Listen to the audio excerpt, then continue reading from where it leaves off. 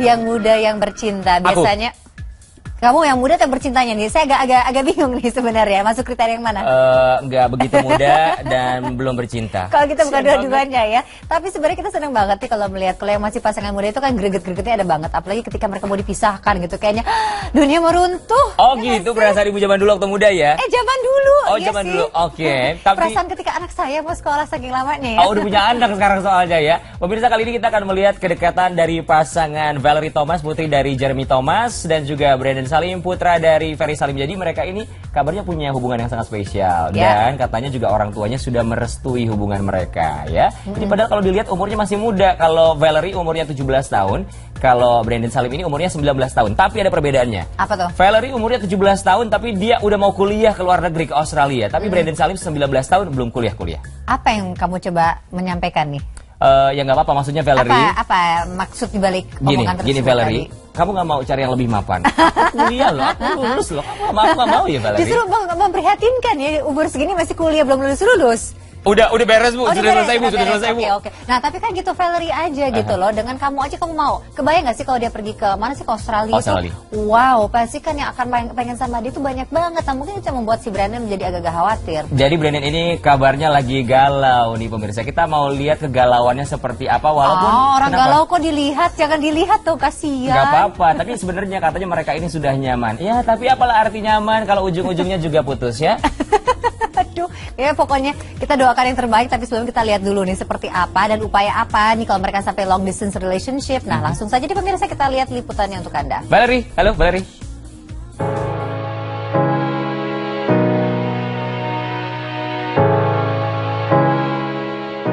Hubungan yang terjalin antara Brandon Salim dan Valerie Thomas semakin hari sepertinya semakin erat dan kompak saja. Terbukti ketika Valerie Thomas mau berangkat ke luar negeri untuk melanjutkan pendidikannya, Brandon sangat mendukung rencana putri pasangan artis senior Jeremy dan Ina Thomas tersebut. Melihat keseriusan Valerie Thomas yang langsung melanjutkan kuliah setelah lulus SMA, Brandon mengaku jadi minder.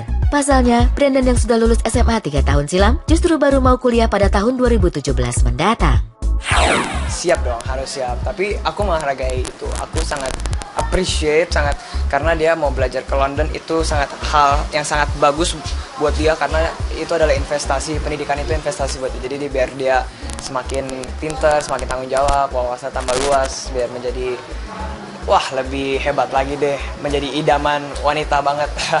Apalagi dia masih muda dia udah tahu mau ngambil jurusan apa terus sudah mau kuliah di mana dia udah tahu. Karena banyak banget kan anak muda yang habis kuliah habis SMA kuliah apa aja deh yang penting punya satu aku nggak suka yang kayak gitu. Kamu lebih baik habis SMA kalau punya gap year setahun udah setahun nggak nganggur tapi menemukan diri kamu mau ambil apa. Makanya aku seneng aku udah selesai SMA udah tiga empat tahun yang lalu tapi baru kuliah sekarang karena aku baru ada tiga tahun aku sempat mau ambil musik akhirnya nggak jadi.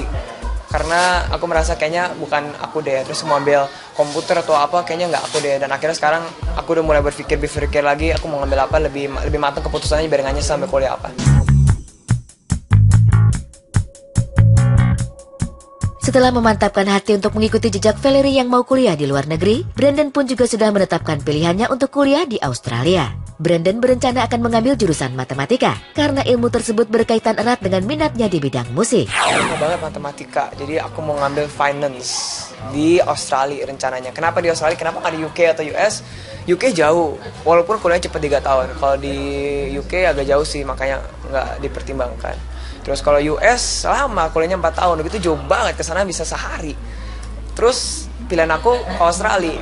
Australia kenapa? Karena lumayan deket, jadi enak ada keluarga dan kuliahnya juga cuma tiga tahun di sana dan uh, kenapa aku kayak milihnya negara bule gitu karena aku mau memperdalam bahasa Inggris aku biar bagus. Kalau aku ke Indonesia atau ke Malaysia ya ngomong Inggris sedikit ngomong Indonesia mulu nanti. Aku pengen Inggris aku biar bisa bagus. Jadi kayak belajar dua jurusan Inggris sama finance. Sebenarnya aku suka matematika banget tapi pelajarannya nggak begitu pintar. Tapi aku suka karena di bidang musik aku di bidang musik ini sangat sangat diperlukan matematika. Kayak aku kan pas di band aku sangat uh, paling sering bikin lagu. Jadi kayak aku harus tahu chordnya seperti apa nada note itu kalau satu dua terus naik naik lagi kan harus tengah karena udah flat gitu. Misalnya do re mi makanya putihnya tuh tiga terus hitamnya dua karena itu ada hitungannya juga tuh. Makanya aku senangnya seperti itu.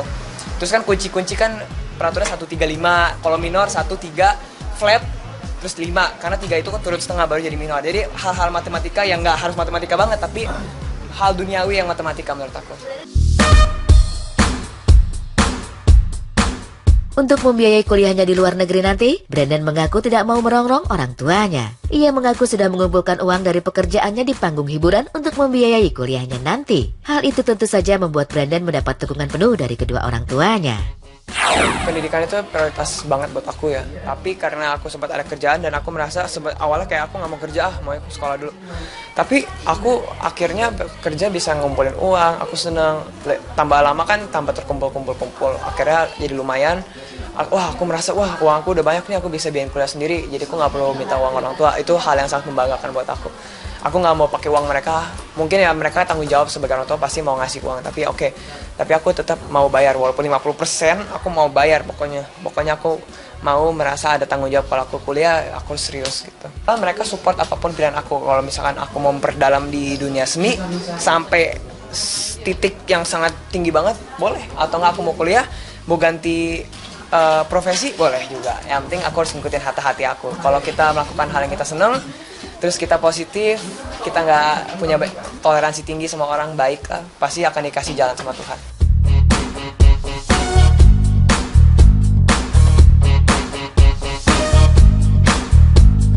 dua jurusan Inggris sama finance. Sebenarnya aku suka matematika banget tapi pelajarannya nggak begitu pinter. Tapi aku suka karena di bidang musik aku di bidang musik ini sangat sangat diperlukan matematika. Kayak aku kan pas di band aku sangat eh, paling sering bikin lagu. Jadi kayak aku harus tahu chordnya seperti apa, nada. Note itu kalau satu dua terus naik naik lagi kan harus tengah karena udah flat gitu. Misalnya do re mi, makanya putihnya tuh tiga terus hitamnya dua karena itu ada hitungannya juga tuh. Makanya aku senangnya seperti itu. Terus kan kunci-kunci kan peraturannya satu tiga lima. Kalau minor satu tiga flat terus lima karena tiga itu kan turut setengah baru jadi minor jadi hal-hal matematika yang nggak harus matematika banget tapi hal duniawi yang matematika menurut aku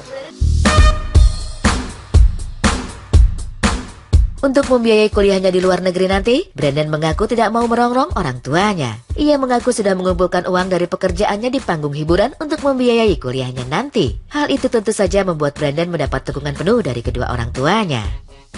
Pendidikan itu prioritas banget buat aku ya. Tapi karena aku sempat ada kerjaan dan aku merasa sempat awalnya kayak aku nggak mau kerja ah mau sekolah dulu. Tapi aku akhirnya kerja bisa ngumpulin uang aku seneng. Tambah lama kan tambah terkumpul kumpul kumpul akhirnya jadi lumayan. Wah aku merasa wah uang aku udah banyak nih aku bisa biayain kuliah sendiri. Jadi aku nggak perlu minta uang orang tua. Itu hal yang sangat membanggakan buat aku aku nggak mau pakai uang mereka. Mungkin ya mereka tanggung jawab sebagai orang tua pasti mau ngasih uang. Tapi oke. Tapi aku tetap mau bayar walaupun 50% aku mau bayar pokoknya. Pokoknya aku mau merasa ada tanggung jawab kalau aku kuliah aku serius gitu. Kalau mereka support apa pun pilihan aku kalau misalkan aku mau memperdalam di dunia seni sampai titik yang sangat tinggi banget boleh. Atau nggak aku mau kuliah mau ganti eh, profesi boleh juga. Yang penting aku harus ngikutin hati-hati aku. Kalau kita melakukan hal yang kita seneng terus kita positif kita nggak punya toleransi tinggi sama orang baik lah pasti akan dikasih jalan sama Tuhan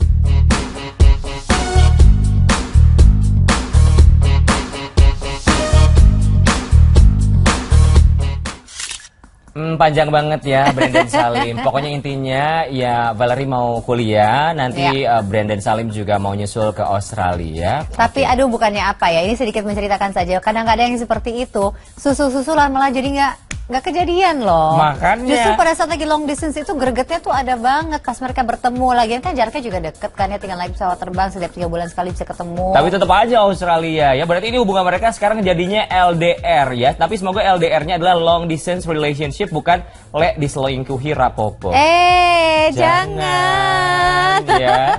Baik berikutnya pemirsa kali ini kita akan melihat kebahagiaan dari seorang penyanyi. Hmm. Dia suaranya bagus banget, laki-laki. Nah dia kabarnya juga dekat dengan seorang perempuan penyanyi juga. Tapi penyanyinya Wih. ini dulu dia sempet nyanyinya nge-rap. Kemudian sekarang pindah ke Kayak, dangdut. kayak- kayaknya kalau ngomong nge-rap tidak ada lagi kalau bukan si sosok yang satu ini ya kan yang sempat itu kan yang Bener. sempat cerai dulu kan. Sempat cerai. Nah, sekarang Ah. kabarnya mereka dekat nih pemirsa ya. Kita akan melihat kedekatan mereka seperti apa sesaat lagi tentunya hanya di Insert pagi.